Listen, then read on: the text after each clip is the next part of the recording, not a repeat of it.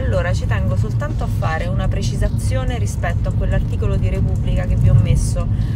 sui parassiti, ok? E, ehm, mi state scrivendo in tanti, è sconvolgente, no, ma non ci credo, ma davvero, oddio, perché so che notizie di questo tipo, siccome non vengono date molto spesso, destano eh, sgomento, sorpresa,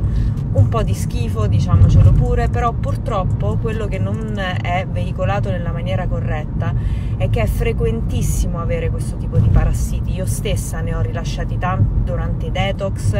per quello vi dicevo che spesso avevo degli amichetti, perché mangiando in maniera sbagliata, inconsapevole, non equilibrata, mangiando anche cibi che ne contengono magari spesso crudi come carne e pesce, purtroppo inserire questo tipo di parassiti con un'alimentazione che è sbilanciata e con alimenti che ne contengono è molto molto frequente e possono dare dei disturbi che eh, sono sottovalutati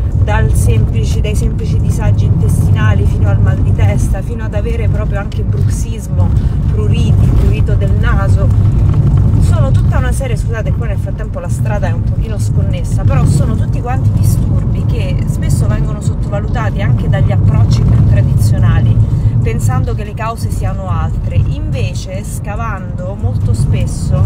sono generati proprio dal proliferare di questi parassiti che quindi attraverso protocolli di pulizia mirata, detox, lavaggi intestinali a cui io tengo molto, lo sapete, piano piano, molto